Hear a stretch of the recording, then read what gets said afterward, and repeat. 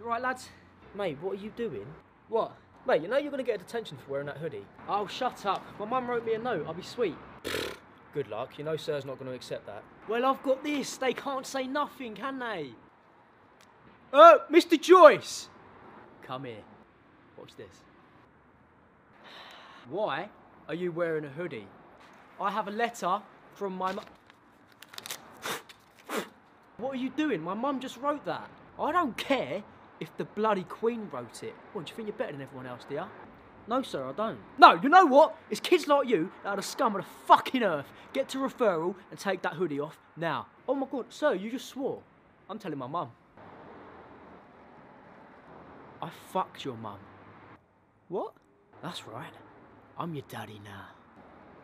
Now piss off.